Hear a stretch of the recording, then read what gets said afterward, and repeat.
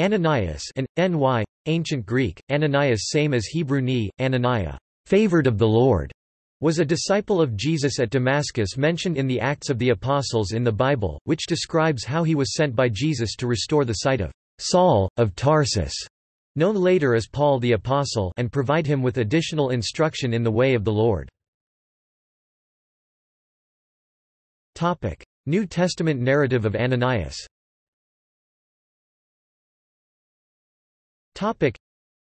According to Acts chapter 9 verse 10, Ananias was living in Damascus.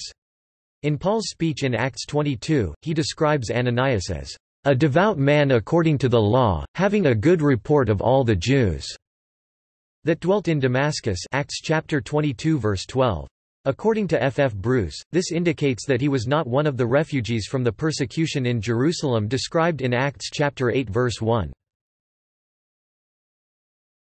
Topic: Healing of Saul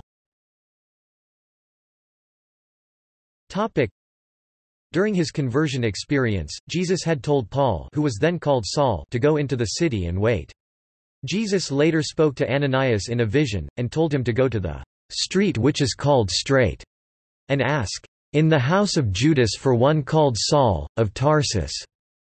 Acts chapter 9 verse 11 Ananias objected that Saul had been persecuting thy saints but the Lord told him that Saul was a chosen vessel unto me, to bear my name before the Gentiles, and kings, and the children of Israel." Acts chapter 9 verse 15. When Ananias went in to Saul and laid his hands on him, the scales of dead tissue on the surface of his eyes fell off, and he looked up at Ananias. After additional instruction, Saul was baptized. Acts chapter 9 verse 18, 22:16. Topic. Biblical status by modern scholars Topic.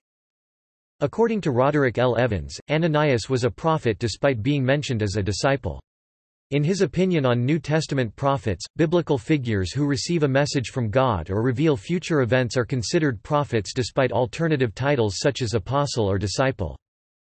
Anglican priest and theologian Edward Carus Selwyn recognized Ananias as a prophet as well as the seventy disciples and the apostles allocated with different tasks. F. F. Bruce suggests that Ananias has an honored place in sacred history, and a special claim upon the gratitude of all who in one way or another have entered into the blessing that stems from the life and work of the great apostle. Ananias is also listed by Hippolytus of Rome and others as one of the seventy disciples whose mission is recorded in Luke chapter 10 verses 1–20. According to Catholic tradition, Ananias was martyred in Eleutheropolis.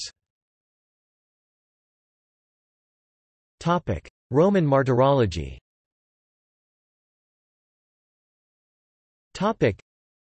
in the 2004 edition of the Roman Martyrology, Ananias is listed under the 25th of January as a saint commemorated on the same day as the feast of the conversion of St. Paul.